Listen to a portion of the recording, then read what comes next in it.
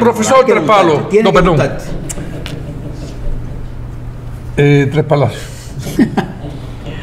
Yo Eh, te oiga con tres palos. No, no, no, yo hasta con uno. Pero bueno, No, eh, eh, existen afectaciones psíquicas. Por ejemplo, en una joven que tiene su sugar daddy y el sugar daddy por X motivo termina esa relación y de pronto la chiquita tiene que abandonar el, los carros, tiene que abandonar el lugar donde vive. Y yo me imagino, yo me imagino. ese también lo Claro, conociste. porque ese es el gran riesgo. Mira, tuyo. Ese es un amigo Eso mío. que tú estás tocando es muy importante. Sí, claro. Esta relación de Sugar Daddy o Sugar Mami es un escalamiento constante.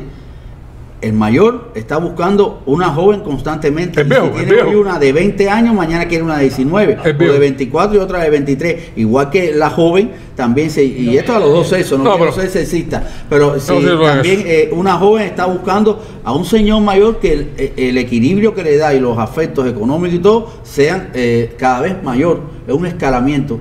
Y, y esa relación, ese compromiso previamente pactado y no en blanco y negro, sino en la práctica diaria, se rompe efímeramente. Ay, cuando tú chico. no cumplas las expectativas. Por eso te digo que, que, eh, magistralmente esa señora dijo que se enamora pierde. Claro. Tú sabes a dónde vas.